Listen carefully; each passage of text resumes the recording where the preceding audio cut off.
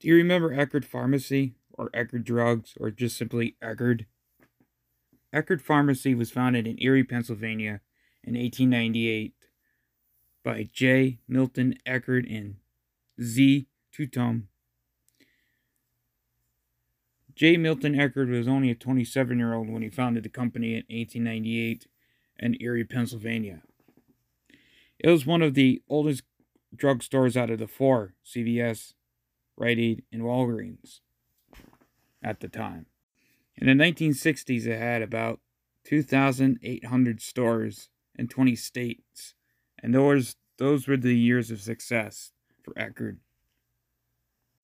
From 1968 to 1985, Eckerd owned their own brand of clothing and also J. Byron stores, department stores as well. In 1996, Eckerd was acquired by JCPenney, and most of the stores were taken over by Rite Aid Pharmacy by 2007. Do you remember Eckerd Pharmacy?